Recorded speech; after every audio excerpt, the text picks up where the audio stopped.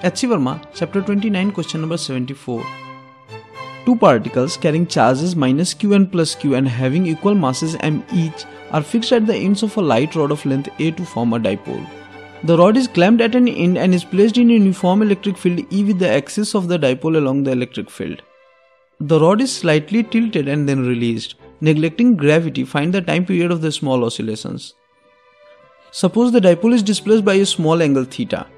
The forces due to electric field has magnitude q into E and act in the directions shown. Since the force on the negative charge acts at the clamp itself, the torque due to this force is zero. Since the rod makes an angle theta with the electric field, the distance of line of action of force on the positive charge from the clamp is a sine theta. Therefore, the torque due to this force about the other end is q into E into a sine theta. But for a small angle, sine theta is equal to theta. Therefore, the torque about the other end is QE into A theta. Since the negative charge is at the axis itself, its moment of inertia is 0. The moment of inertia of the positively charged particle is ma square.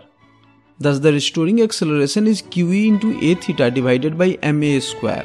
Simplifying we get qe theta divided by ma. Thus the angular frequency of the SHM is root under qe by ma.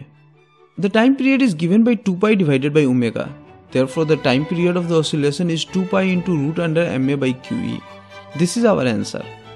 In order to request solution to any question from H.C. Verma book, post the question number and chapter number in comments below.